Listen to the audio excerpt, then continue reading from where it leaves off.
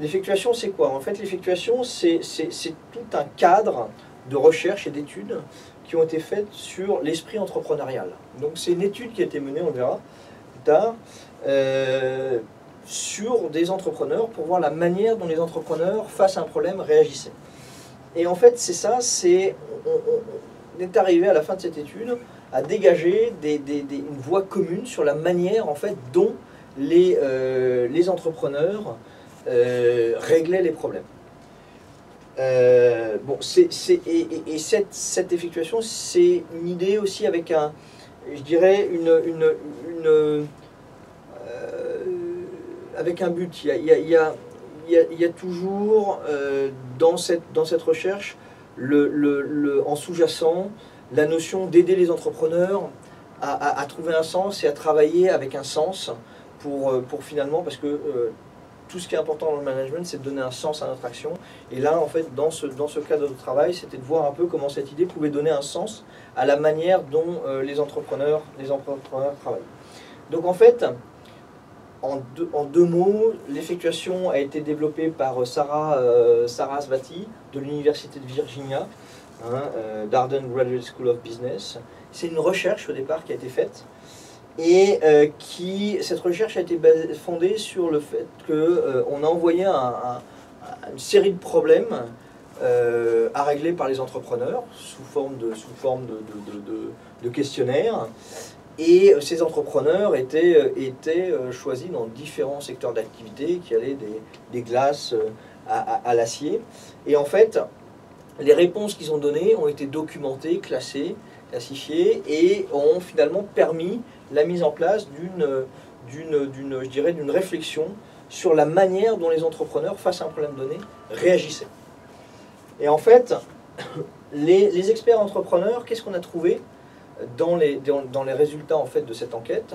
On a trouvé que, euh, ben, en fait, les, les, entrepreneurs qui avaient l'habitude de travailler dans ce modèle, en fait, limitaient leurs risques par, en fait, le, je dirais, le, en comprenant jusqu'où ils pouvaient aller.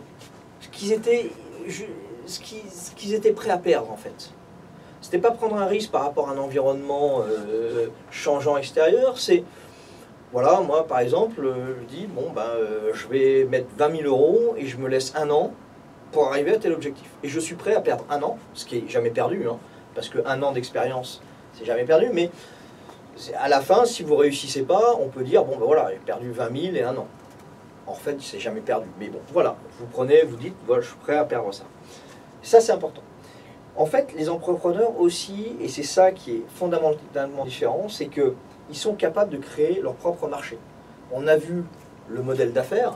Le modèle d'affaires, les pivots, vous, déclinez une idée selon, selon un autre segment. En fait, vous créez votre, votre propre marché quand vous allez en face de euh, quand vous allez pitcher et qu'en face de vous il y a des gens qui disent il n'y a pas de marché, sont des gens qui en fait euh, sont dans leur, dans, leur, dans, leur, dans leur monde actuel qui est un monde figé. Si vous ne changez pas les choses, oui, il n'y aura pas de marché. Si vous changez les choses, oui, vous pouvez créer un marché. Mais si vous dites que vous allez créer un marché, il va falloir expliquer comment vous allez créer ce marché. Ça, on verra pour le pitch. D'accord? Et puis, ce sont des personnes qui, qui croient aux autres. C'est-à-dire que quand vous développez vos partenariats, euh, vous, avez peu de temps. Euh, vous êtes obligé de croire les autres. Vous prenez un risque à croire les autres, d'accord? Mais euh, c'est un élément fondamental qui peut faire accélérer effectivement le processus. Des, relations entre les différentes structures traditionnelles, vous avez les avocats, c'est quelquefois lourd, etc. Là, c'est léger, vous croyez les gens. Et vous prenez votre risque en croyant les gens. Le troisième point, en fait, c'est que l'effectuation peut être enseignée. Là, il y a une sensibilisation, mais il y a des, modules sur l'enseignement. Qu'est-ce qu'on enseigne, comment on enseigne?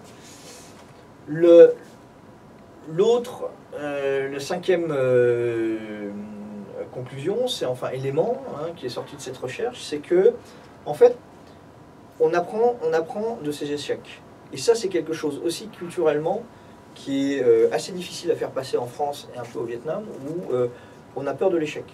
Quand on est dans un cours, finalement, euh, les notes, les notes qui sont données, on part de la plus haute note, et puis à chaque fois qu'il y a un échec, eh ben, on soustrait des points.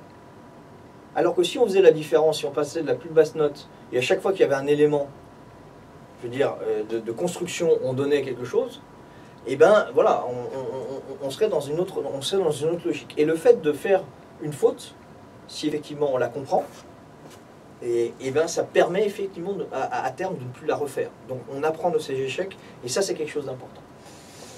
Et aussi, l'esprit d'entreprise peut, être appris au même titre que l'esprit de- de- de- d'effectuation.